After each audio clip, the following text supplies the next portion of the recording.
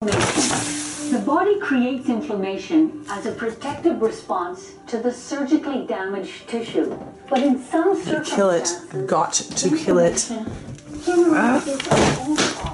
ah. notably fibrosis. Die, motherfucker. Fucking die. Oh my god. It's Like Mardi Gras beads in the way. Oh my god, now there's a fucking plant. God damn it. I'm naked. Where are you? Oh, oh. Get it! Controlling the movement of my wrist with Oh no. Take a look at this ultrasound of my two wrists.